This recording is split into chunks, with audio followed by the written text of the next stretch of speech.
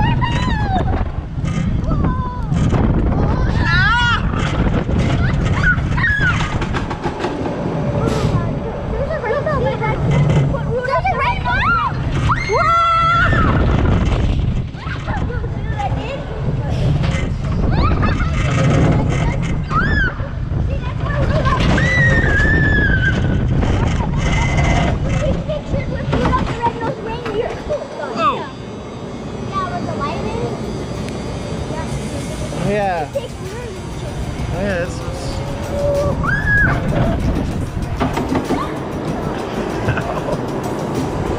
oh.